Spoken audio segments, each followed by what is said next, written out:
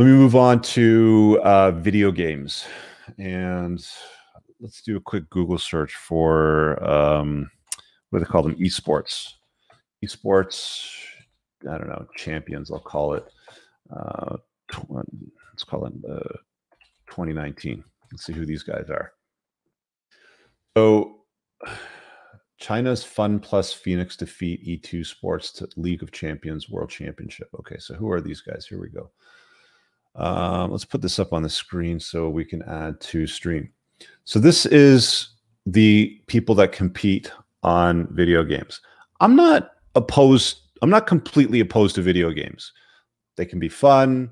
There's certain times where um, I'm not going to say it's a good use of your time, but there's certain times where you can engage, you can have community, you can do some shit with your friends, you can have some fun.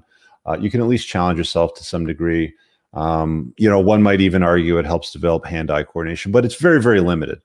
Um, my point being with video games is these are the people that are considered world class. So, uh, League of Legends world champions. So this is now this is a big, big thing that is going to open up a lot of doors um, and a lot of traffic for new businesses going forward.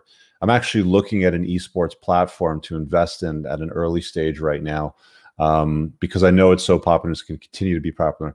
But these are the champions. Okay, these are the League of Legends world champions. They are world champions at their video games at that craft. I don't believe that they are legends of mankind. Okay, if I can put it that way, I'm you know putting it putting it kindly, if you will. Um, they're pretty much dorks. Where's where's another one? Here we go. See what these guys look like. Okay, so playing video games is not competing in real life, is what my point is.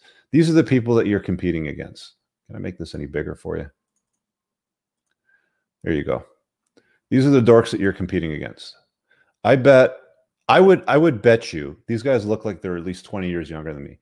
I would bet you that I could probably do at least 30 more push-ups than all of these dorks chin ups, squats. I could probably hop on my bike and ride way faster, way further than any of these guys.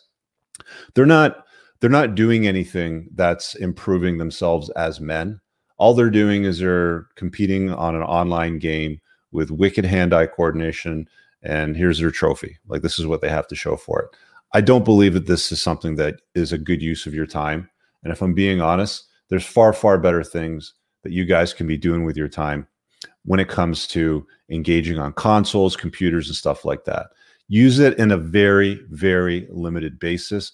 Most of the stuff in video games, and especially if you go to places like Twitch now, there's a lot of these ethos coming into these platforms that men are getting thirsty for and they're white knighting for and they're bending the knee for, and it betatizes men, right? It makes them weaker there okay i'm going to end on this note on the video game thing to set the example and the tone in a clear concise manner um, about five or six years ago i was skiing and in the terrain park i wiped out and i thought i broke my shin uh, i couldn't put any weight onto it i went immediately to the emergency room of the hospital i'm sitting there waiting for about five hours 90% of the traffic in there was uh, single moms bringing in their kids that had a slight cough or a dot on their back.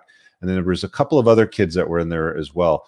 The one that went in before me sat, you know, they have these curtain rooms with a with a drawstring curtain, so you can hear everything. Doctor's like, okay, so what's the problem? What can I do to help you? Why are you here today? He goes, well, you know, I was sitting around playing video games this weekend and I can't feel my legs. And she says to him, "Okay, well, what happened? You know, why can't you feel your, you know, feel your legs? Why did they go numb? Because he said they went numb and he couldn't feel them. Well, I was on this long raid with a bunch of my friends online on World of Warcraft for like two and a half days straight, and um, yeah, I, I just don't feel them. They're really numb. And she's like, "Well, get up and walk around, dummy."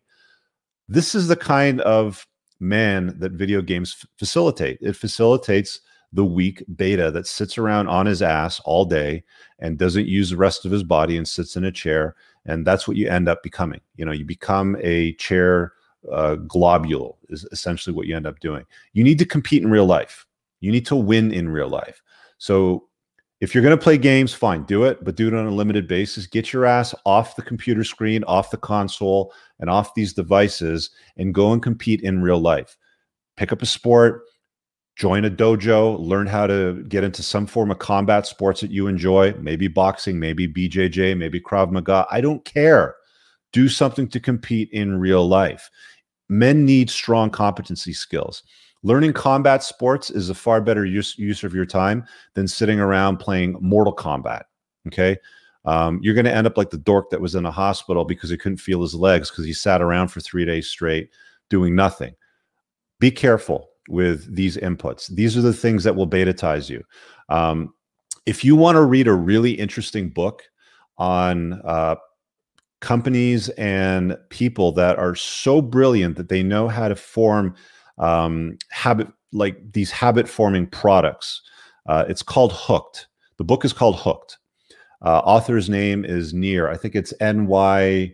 Let me just quickly look it up. This, this is a great book. I mean, if you play video games right now and you're wondering why, by here it is. There it is. Um, Nir N I R E Y A L. Read this book over here How to Build Habit Forming Products. He breaks down specifically how things like Facebook, how things like video games uh, and console games and even computer type of games get you hooked to keep coming back and spending all your time and money staring at the screen or at their product or service.